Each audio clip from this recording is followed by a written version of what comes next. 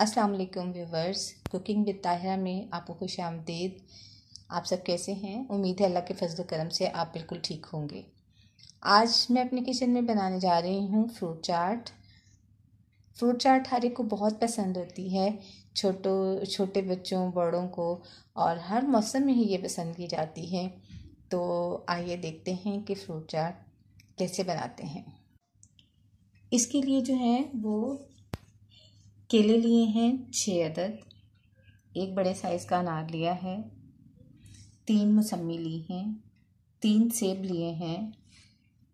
दो अमरूद लिए हैं और अंगूर लिए हैं। इन तमाम चीज़ों की जो है वो मैं कटिंग करूँगी और कटिंग करने के बाद फिर आपको बताऊँगी कि इसमें और क्या क्या चीज़ें जो हैं वो शामिल होनी हैं। फ्रूट्स अभी हमने कटिंग कर ली है मौसमी काट ली है। अमरूद भी काट लिए हैं।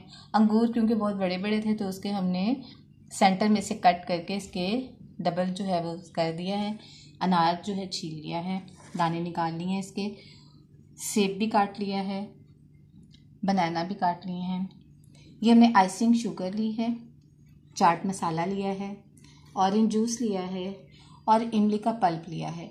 इमली का पल्प बनाना बहुत आसान है इमली लेकर आप उसमें थोड़ा सा पानी डाल के चूल्हे पर पकाएँ और जब वो गाढ़ी हो जाए तो उसे स्ट्रेनर में छान लें तो ये जो है वो इमली का पल्प रेडी हो जाता है। तो अब हम तमाम चीज़ों को जो है वो हम मिक्स करते हैं। अब हम जो है वो बाउल के अंदर अपने तमाम फ्रूट्स जो हैं वो डालते हैं। ग्रेप्स डालेंगे। अमरूद डालेंगे।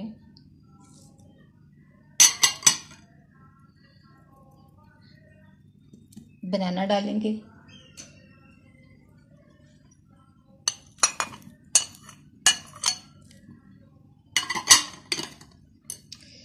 मौसमी डालेंगे।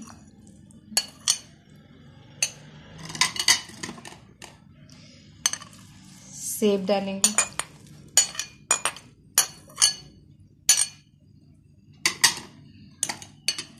और अनार डालेंगे। ये हम थोड़े से नारे भी बचा लेंगे एंड में हम गार्निशिंग करेंगे इसके साथ। अब एक बोल में हम ये ऑरेंज जूस डालेंगे। इसके अंदर जो इमली का पल्प बनाया है, वो डालेंगे।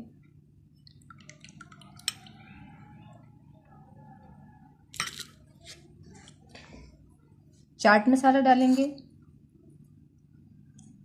दो चम्मच। आप अपनी मर्ज़ी से कम या ज़्यादा कर सकते हैं। अगर आपको ज़्यादा पसंद है तो आप तीन चम्मच डाल लें। मैंने फ़िलहाल दो चम्मच डाले और अगर मुझे लगेगा कि ये कम है तो मैं थोड़ा और डाल लूँगी। चीनी डालेंगे। तीन चम्मच। ये मैंने ग्राइंडर में चीनी जो है वो पीस ली है ताकि मिक्स करने में मुझे थोड़ी आसानी रहे। काली मिर्च डालेंगे। एक चम्मच। ये एक चम्मच काली मिर्च डाल दी। इन सब चीज़ों को मैं अच्छे से मिक्स कर दूँगी। अब हम ये तमाम जो है वो इसके अंदर डाल देंगे।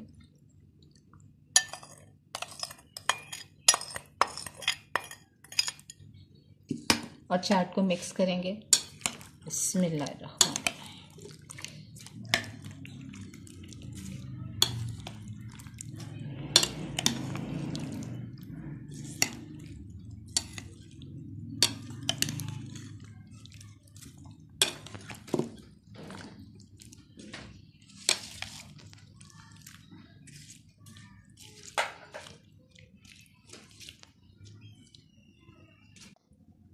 अब जो हमने अनार थोड़ा सा बचाया था, वो इसके ऊपर इससे गार्निश कर देंगे।